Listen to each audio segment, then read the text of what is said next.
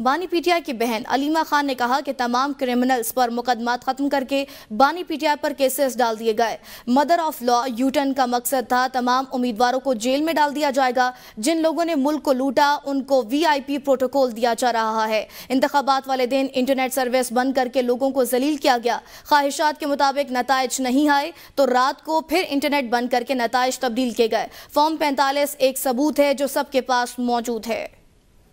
हमारी आइन में कहते हैं कि पहले आप जानते हैं, अल्लाह को हाजिर नाजर जान के।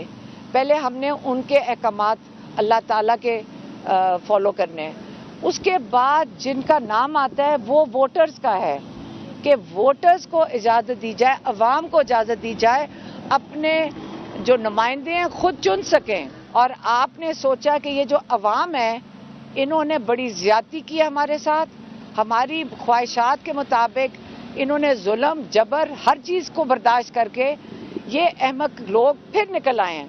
और इन्होंने वो रिज़ल्ट दे दिया है चुप करके, जिसको कहते हैं कि इनका हथियार वोट था, जो लोगों के हाथ में मैंडेट है लोगों का।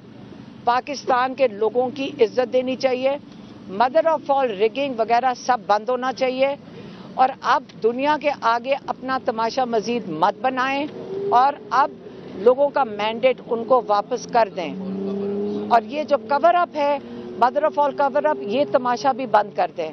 ये इसका कोई फ़ायदा नहीं होगा। पाकिस्तान को नुकसान होगा इस चीज़ का, हमारी मीशत को नुकसान होगा।